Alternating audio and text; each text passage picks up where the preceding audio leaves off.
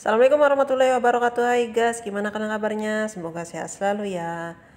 Nah guys, video kali ini aku akan sharing Cara mengirim uang di aplikasi QPay. Ini ada di Taiwan ya guys. Nah kalau kalian sudah gajian Ataupun kalian punya duit banyak Dan pengen dikirim ke Indo Nah ini guys caranya. Mudah sekali guys. 5 menit sampai ke rekening tujuan Nah, pertama-tama kalian harus punya aplikasi QPay terlebih dahulu guys. Bagi yang belum punya, silahkan kalian download di Play Store ya.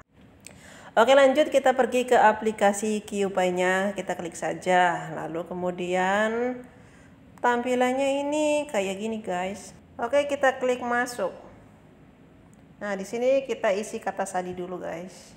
Kalau sudah klik masuk akun. Nah, di sini tampilannya kayak gini. Kita klik kirim uang yang gambar dolar. Nah, kali ini kursnya lagi 496 ya guys, satu NT-nya. Biasanya aku kalau kirim itu dari duit Indo dulu guys, yaitu aku kali ini mau kirim 4 juta 100 ya guys. Nah, nanti di atasnya itu keluar ada berapa NT gitu.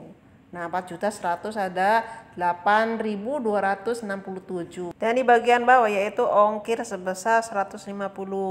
Nah, total uang yang harus kita bayar ke kasirnya itu sebesar 8417 guys.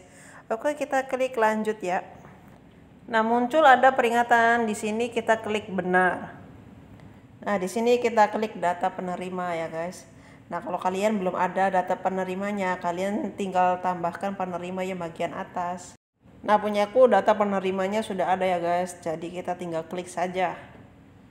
Nah di sini rincian detailnya ya guys. Kemudian kita klik kirim. Nah di sini ada peringatan, kita klik benar.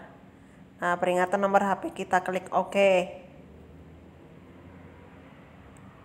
Kemudian kita pilih yang seven ya guys karena aku pengen kirimnya lewat seven. Nah di situ ada kode pin pembayaran. Jangan lupa kita tulis ataupun kita screenshot ya guys. Oke kita let's go OTW seven.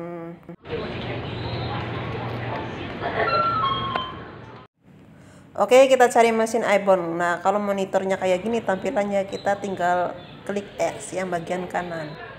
Lanjut klik yang bagian pojok kiri. Nah, di sini kemudian kita klik pinnya guys, pin tadi tuh guys.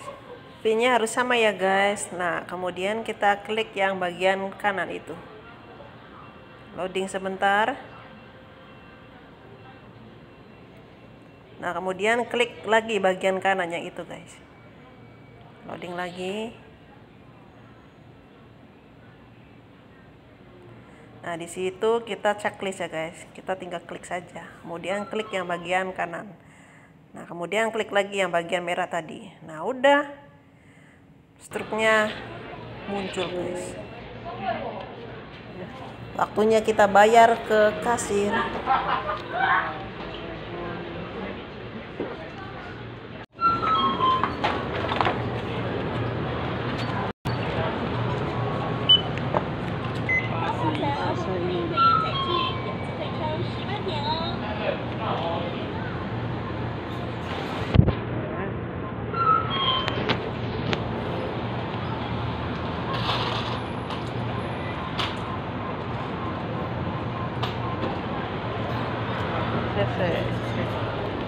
Terima kasih guys sudah menonton. Bye, see you.